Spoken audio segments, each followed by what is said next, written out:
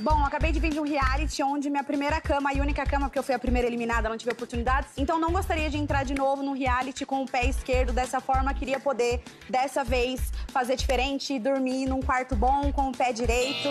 É isso.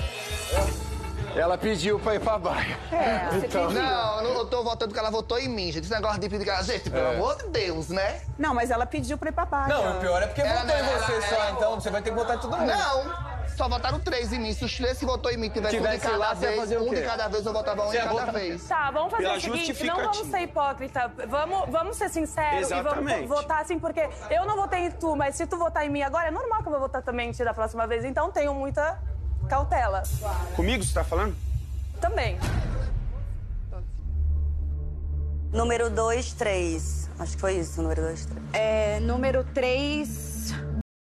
Tua orelha? Quando eu era pequena, se a Caraca, mãe... tua orelha é uma mais aberta que a outra, mano. Que isso? É, se, tipo assim, se É a... papo reto, olha pra.